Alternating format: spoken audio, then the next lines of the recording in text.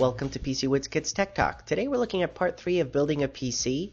Last time we left off with installing the power supply and the power connectors. Today we're doing the finishing touches with installing the video card and the hard drives. Last time I had already a video card which is the one I'm going to be using, the 5770. But some cards use more than one power connector, but they all install on the PCI Express slots, those blue ones. Usually the first blue one closest to the CPU, that's your X16. The other one further away usually runs at 8x, okay, for dual uh, GPUs, for example. Here's an example slot, and you have to align that, the notches there at the bottom of that slot, with the blue uh, PCI Express on the board. So that's what I've done. I've got it lined up and ready to go, and it's just a matter of making sure that you you you make sure that if this is a dual slot card, so it's really wide, that you have dual openings at the back ready, and then you just firmly insert it there, and then of course fasten it with a screw to the case because you don't want it dangling there, and um, and then connect the two power connectors in this case. The other card that I had uses one 6 pin this example here shows you that this card uses two connectors, one 6-pin PCI Express and another 8-pin. This is a different card. I won't be using this in my system, but I thought I'd use this as an example so you can see.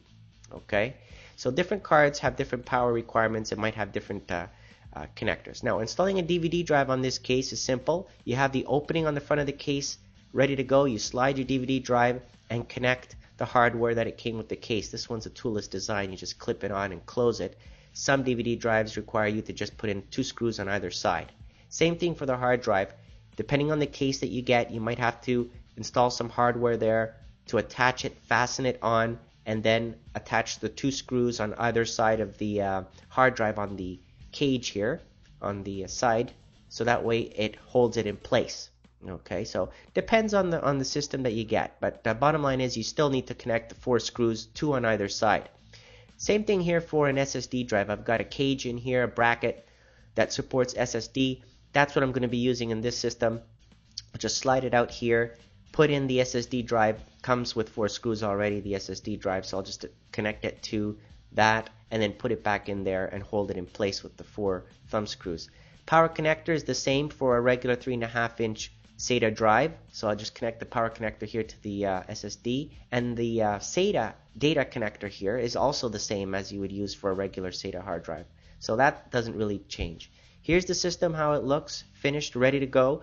On my next review, we'll be overclocking, testing the Intel Core i5-661 that's installed in the system with this exact hardware that you're looking at right now. Okay, so here's the system specs for the uh, next review that I'll be doing so that uh, you know what's coming up. And uh, basically, we'll be um, testing how much we can get out of it. It's a new CPU. And if you have any more questions, please visit my forum, okay, and uh, post your questions there. I hope you enjoyed this video, and thank you for watching.